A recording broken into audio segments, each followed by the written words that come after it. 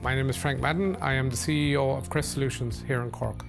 I graduated from a certificate in electronic engineering from IT Sligo in 1988. So after I graduated from uh, IT Sligo, eventually I ended up uh, being the operations manager in uh, Apple uh, until they closed down the particular manufacturing uh, facility and from there I set up Crest Solutions almost 20 years ago. Our company is involved in engineering services.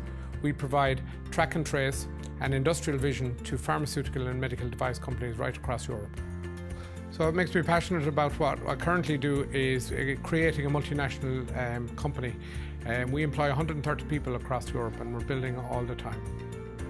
One piece of advice I think is very important. I think every every person in college should work for a big company and leave it before you get soft and work for a small company and leave it before you get hard. But definitely working in different environments I think is very important uh, before you set up your own business.